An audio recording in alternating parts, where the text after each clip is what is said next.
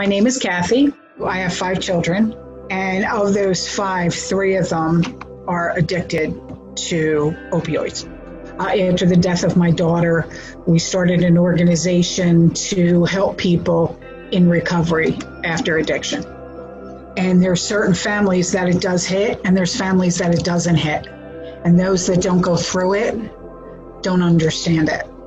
And so there's this stigma that it's a choice and people choose to live that way.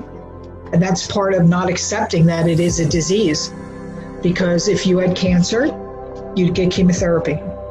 If you had diabetes, you'd get insulin. If you had a bad heart, you'd get heart medicine to make you better. So why can't my child get those same things and be accepted and be okay with it? And I think we have a long way to go for that.